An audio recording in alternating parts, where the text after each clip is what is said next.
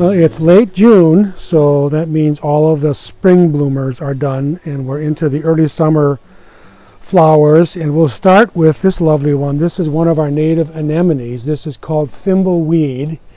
And because it has the word weed in it, people probably don't like it. And it actually does seed itself. This patch right here came in on its own. But it's a lovely native plant, one of the anemones with these beautiful white uh, five petal flowers and this interesting kind of divided foliage. But this pure white uh, uh, flower, it's called thimbleweed because the, you can get a hint of it here. The developing seed cluster that comes after the flower, when it's mature, is kind of thimble shaped and about that size, so hence the name thimbleweed. So again, we didn't plant this, just came in on its own, but we're happy it did. We're right in front of the Jensen Center here. Uh, and here's the remnants of uh, Solomon's plume or false Solomon seal, just flowered a little, a little, you know, maybe last week this was in full bloom. This will produce, the, you can just see the start of the nice, of the berries here. There'll be a, nice bright kind of striped dark red berry later in the season. But the main show here is this beautiful uh, thimbleweed. Just across the walk from the uh, thimbleweed is our native campanula. This is uh, harebell. It's one of the bellflowers. Uh, almost looks like a grass until it flowers with these pretty blue, uh, light blue, bluish purple bell-shaped flowers. Um, we planted this in the wall here years ago, but uh, it, you often see it down right along the escarpment path at the clearing on that thin, dry soil. Tolerates that. Uh, there's another bellflower up here called creeping bellflower, which is a non-native and can be quite invasive. But this is a nice native with these delicate uh, little blue flowers. Harebell, H-A-R-E, harebell.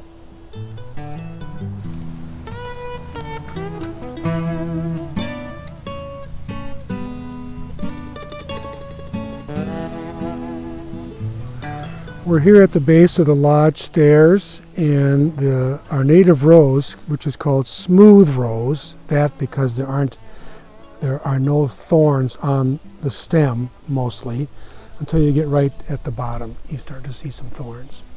That's why it's called smooth rose. But it's one of our, uh, it's a native shrub, likes sunnier areas, and it has these uh, five petaled uh, in, in the world of roses, this is called a single flower. What we think of as a rose has all those multiple, multiple, multiple layers of petals. Those are called double flowers. This is called a single flower, single row of petals. Pink, yellow center, very fragrant. And uh, these single flowered roses, for the most part, including this, this one, are fertile. So they'll produce a fruit. And the fruit that roses produce is called a rose hip, H-I-P and it's red. Uh, they're small, uh, on smooth rose, but very pretty, and they last sometimes right into winter until something comes along and eats it. So this is our lovely native rose, smooth rose.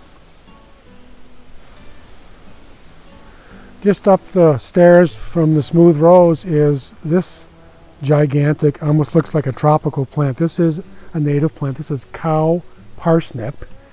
Uh, it's in that parsnip family with these large, almost dinner plate size uh, clusters of white flowers, these huge uh, divided leaves. Again, looks tropical there. So, I mean, this one is just gigantic. Uh, it's about six feet tall.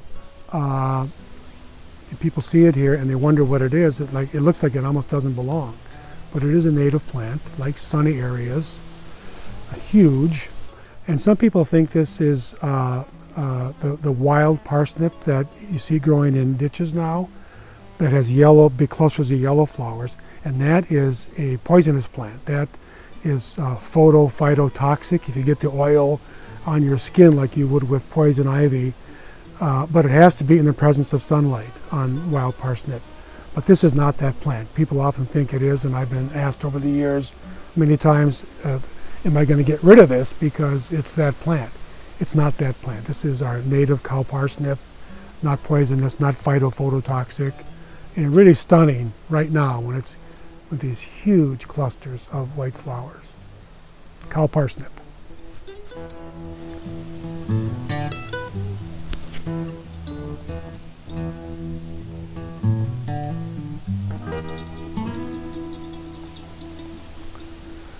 Also near the base of the lodge stairs, uh, not far from the smooth rose and the cow parsnip, is uh, dwarf bush honeysuckle. So people hear the word honeysuckle and they say, well, that's got to be bad. This is a native plant. It's in a different genus than the true honeysuckle. This is bush honeysuckle, all one word. It's in full bloom right now. Uh, these pretty yellow flowers in clusters. They'll produce a little uh, a seed capsule later in the season, and often uh, a, a, nice fall color, uh, some purple in it. And this is about as tall as it gets, maybe three feet tall or so. Uh, it will sucker out and, and form almost like a tall ground cover.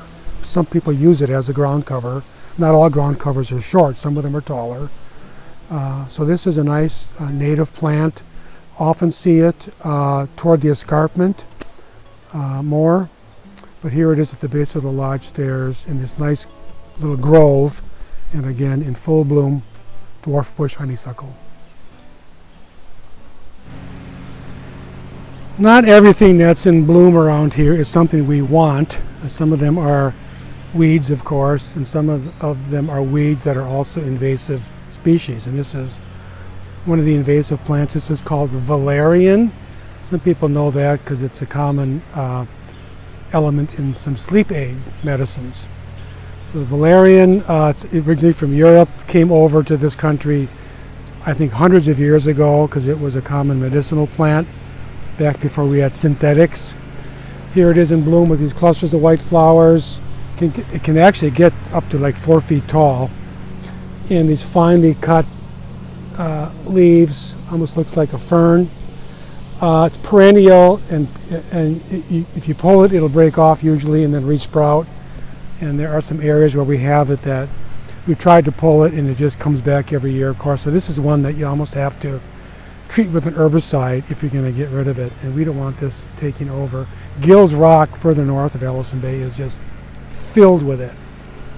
We don't, don't want that to happen here. Anyway, uh, one of our invasive species at the clearing, valerian.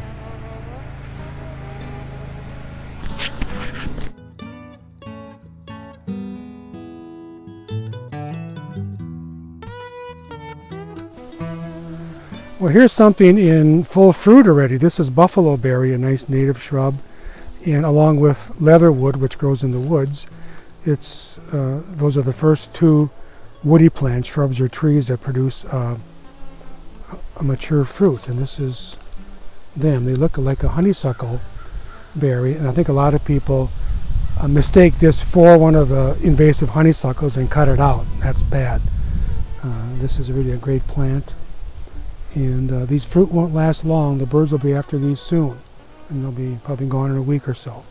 But buffalo berry in full fruit. Uh, we're in the hay meadow, which is that open area just as you leave the property and come through the woods on the exit road. Uh, they used to make hay here. I haven't done it for decades. But uh, this is another one of our coreopsis meadows. This beautiful uh, yellow flower all through here. Same thing in the middle of campus and the uh, homestead meadow, the big meadow, is full of this too. Uh, lance leaf coreopsis is one of the best. Uh, a little bit, they were peaked last week They're still nice, but they were peaked about a week ago. And it's one of the best times of the year to be at the clearing when the coreopsis are in bloom. Uh, everybody loves them. This bright yellow, uh, and uh, a week from now they'll be done. But uh, it's just spectacular. Uh, I always tell people, uh, it's the clearing is beautiful every day of the year.